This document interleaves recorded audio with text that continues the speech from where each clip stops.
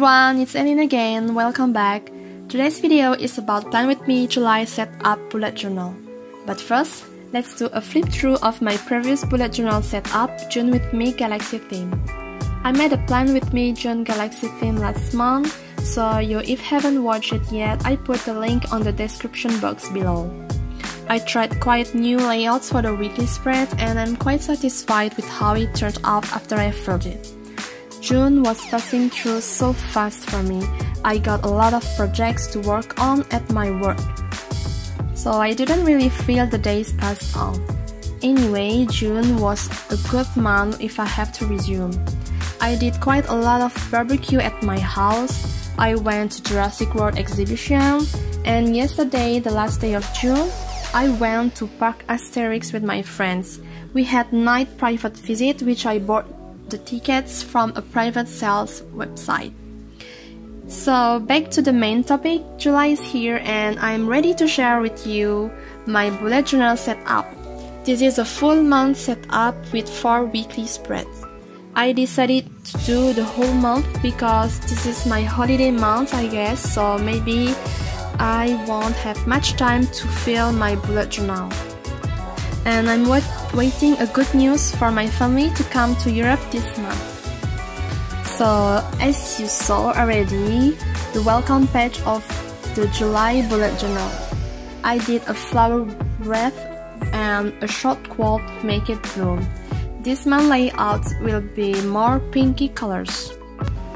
You will notice that along this video there will be a lot of peonies. One of the reasons is that it is firstly a pretty flower, especially when it blooms. Besides, I worked a lot with peonies on June for my projects. They smell nice, they have gentle petals, and they can also be so big once they are bloomed.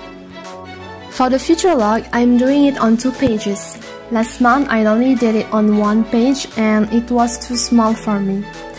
Plus, I am having more events this month. I draw some peonies and light it on black contour to light the calendar color pops more. I added a little corner to try my YouTube and Instagram statistics.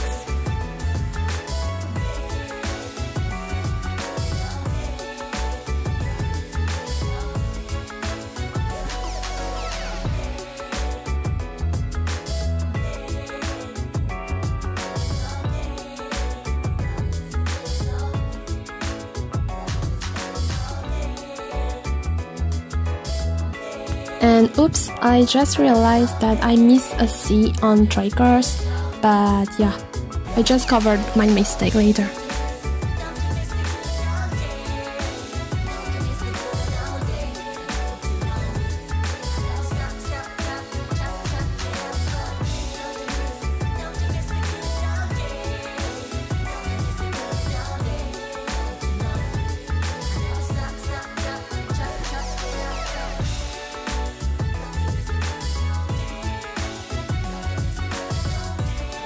Now move to the mood tracker section.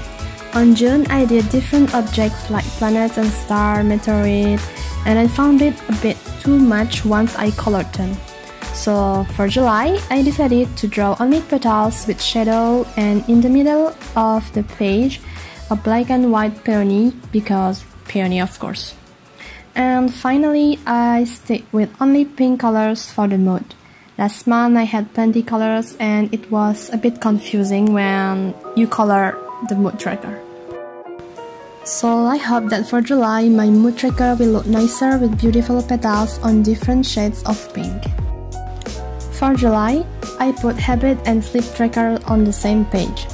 On the left side, I created different little boxes that represent days of July. I prefer when I can easily track my habit. That's why I did separate boxes for each habit. And of course, can't leave the page without flower. So again, a little of peonies won't hurt, right?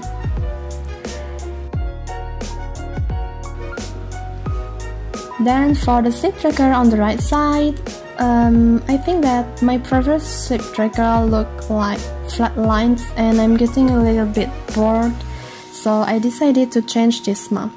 I think that the final look will seem more like a zigzag statistic if of course I have different sleeve length.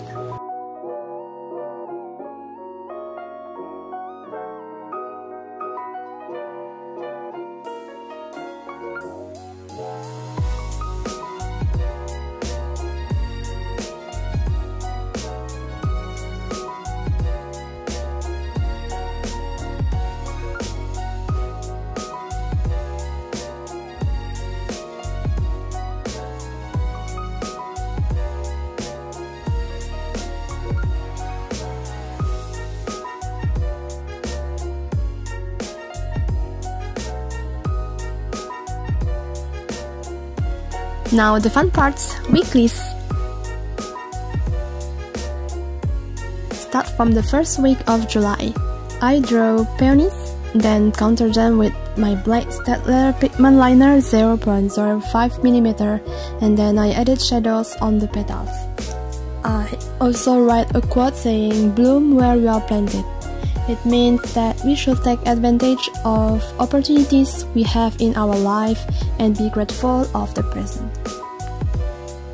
Then for each day I put them in little boxes. I love how irregular shapes like flowers match well with defined lines and boxes. I also added light gray on the bottom and right sides of each box and flowers to create a drop shadow effect. With my simple Pentel watercolor, I mixed red and a bit of pink to fill some part of the flower. I deliberately leave some part white.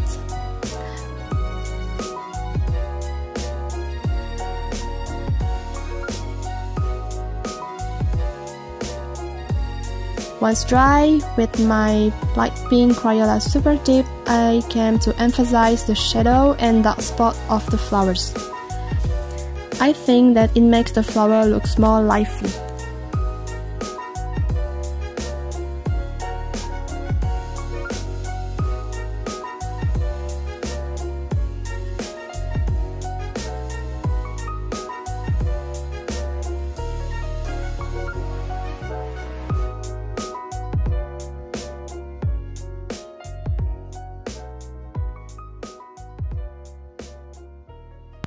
Peonies, peonies, peonies everywhere.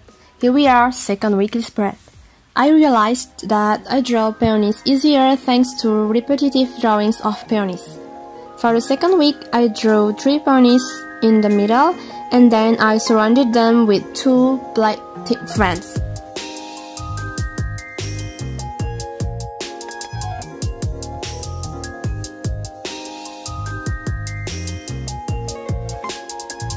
I wanted to create a tableau look as if the flowers came out from the frames.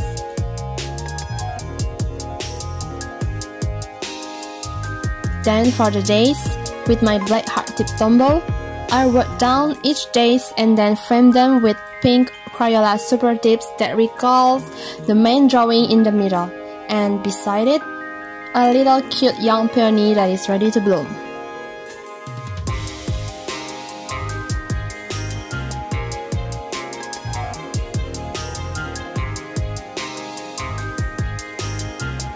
I was hesitating between coloring the peonies with watercolor or with markers. Then why not?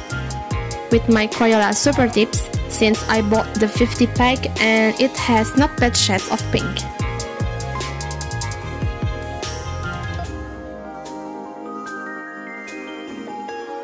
I started by the darkest pink from shadows or darker spot, then gradually went with lighter pink.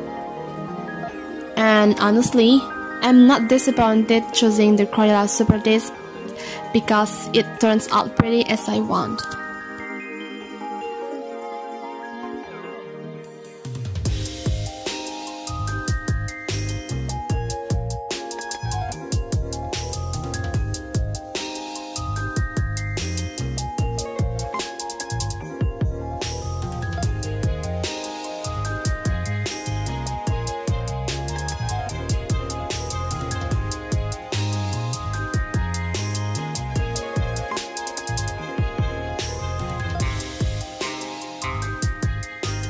Now move on the third weekly spread. No drawing this time, just some cuttings and collages. From a shopping paper bag, I cut small squares and wrote down a small calendar. I did some browsing on Pinterest before and selected and printed them. Then I grabbed my most favorite picture that I want to put in my journal.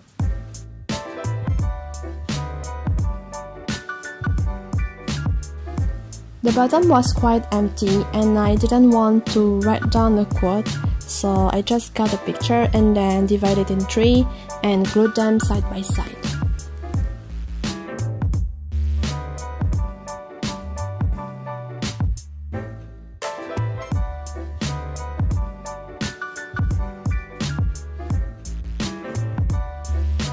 I hope that you're still with me, bear with me a little longer.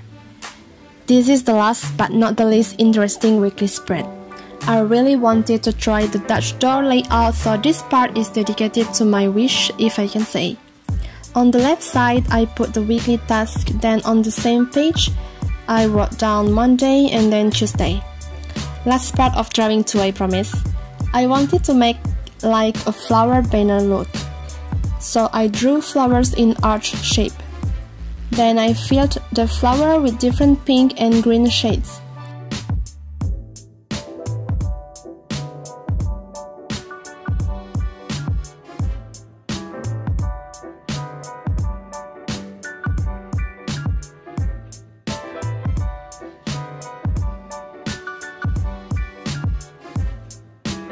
On the right side, I put the weekly events.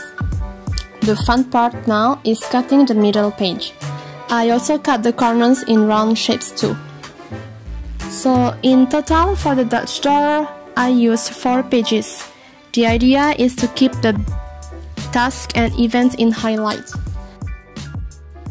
Okay, end of my plan with me video. What is your favorite weekly spread? Let me know in the comment section. Thank you so much for watching. I hope that you enjoyed and see you soon. Bye. Was heading for a small disaster. Before you came I was ready to blow